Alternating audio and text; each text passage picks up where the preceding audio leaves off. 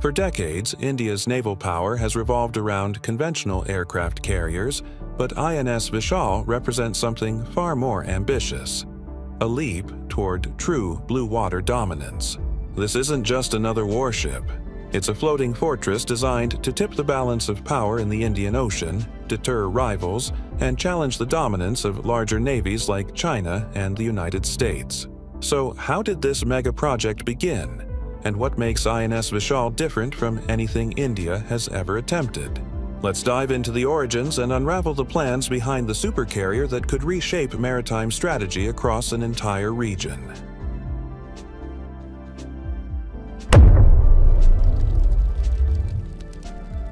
The concept of INS Vishal emerged after India commissioned INS Vikramaditya and began building INS Vikrant. Indian defense planners realized that having one or even two carriers wasn't enough in a region increasingly contested by China's growing naval presence. China launched aircraft carriers like Liaoning and Shandong, and began constructing more advanced ones. India needed a counterweight, not just a carrier but a symbol of deterrence. INS Vishal was envisioned as the largest and most capable carrier India has ever considered, around 65,000 tons in displacement, compared to the roughly 45,000 tons of INS Vikrant. This massive jump in scale signals India's ambition to operate at the level of global powers that use supercarriers as strategic tools, not just defensive platforms. Unlike India's current carriers, which rely on STOBAR systems, short takeoff ramps, and arrested landings, INS Vishal is designed for CATOBAR, the same launch and recovery system used by US and French supercarriers. This would allow India to operate heavier, more sophisticated aircraft with greater range and payload. The ship is expected to carry up to 55 to 60 aircraft at once, combining fighter jets, AWACS platforms, and drones in a unified strike package.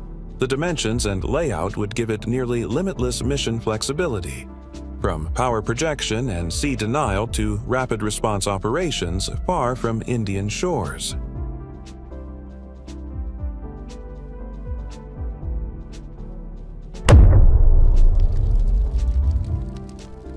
One of the most groundbreaking elements proposed for INS Vishal is the integration of EMALS, Electromagnetic Aircraft Launch System. Traditional steam catapults are bulky, maintenance-heavy, and limit the type of aircraft that can be deployed. EMALS, currently pioneering aboard the U.S. Gerald R. Ford-class carriers, allows quieter, smoother, and more effective launches with far less stress on the airframes. India has been in talks with the United States to explore technology transfer or co-development, which would represent unprecedented defense cooperation. If successful, INS Vishal could deploy aircraft previously beyond the reach of Indian carriers, including heavier AEW&C platforms crucial for airborne surveillance and command. INS Vishal's air wing is envisioned as a powerful hybrid of manned fighters and autonomous systems. Potential manned aircraft include the French Rafale M, the US FA-18 Super Hornet, or a navalized variant of India's proposed twin-engine deck-based fighter, TBF. Each brings deep strike, anti-ship, and multi-role capabilities. But perhaps the most transformative part of INS Vishal's air wing would be its use of carrier-based drones for reconnaissance and swarm combat roles. Unmanned combat aerial vehicles could operate in high-risk environments, relay targeting data, jam enemy systems, or even strike independently, all while extending the ship's reach without risking pilot lives. With EMALS, India could also deploy heavier UAVs and future stealth platforms.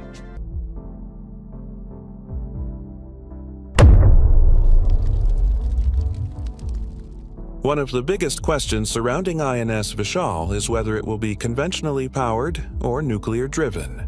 A nuclear carrier can remain at sea for over 20 years without refueling, offering unmatched deployment duration and range.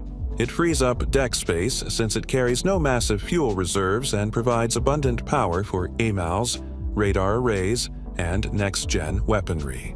But nuclear propulsion is expensive, politically sensitive, and requires specialized infrastructure and training. Some Indian officials support a nuclear design to future-proof the ship for decades, while others propose starting with conventional propulsion and upgrading over time.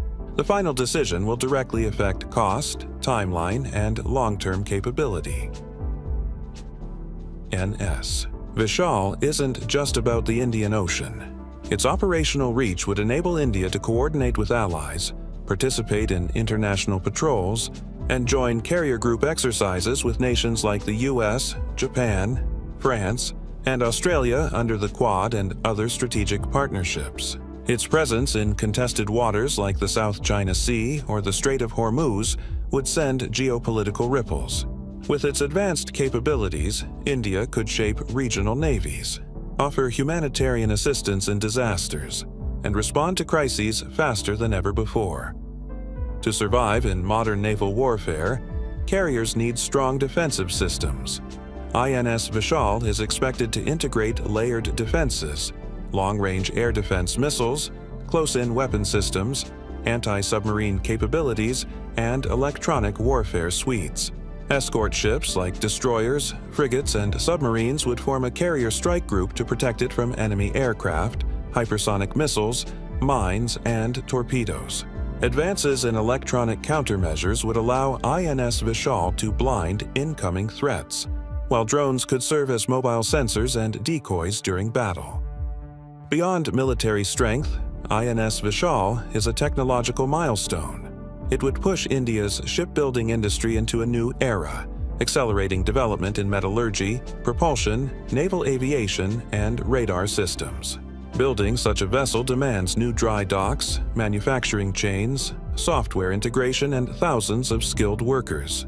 This project could create entire ecosystems of defense manufacturing, benefiting other sectors and making India less dependent on foreign suppliers.